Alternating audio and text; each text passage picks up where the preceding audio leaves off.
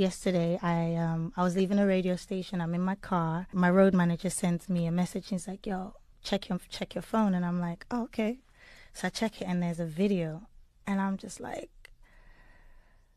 "Whoa!" I'm like, "Where did you get this from?" And he's like, "I just got it like 20 minutes ago." And This is somebody on your team? yeah, this so this video was sent to him, Mm-hmm. and it's a tape of me and the person I'm dating right now. Yeah. Oh my and then- God, and I'm so sorry. I know, I know. so you're in the middle of like crisis right now. so, so I mean, the- you seem very like calm and okay, but yeah, because I, I like. So I said I, the first thing I got off the phone and I, I sent it to my manager and she was like, "Oh my god!" and and I'm like, "What are we gonna do?" Mm. So the person's asking for money now.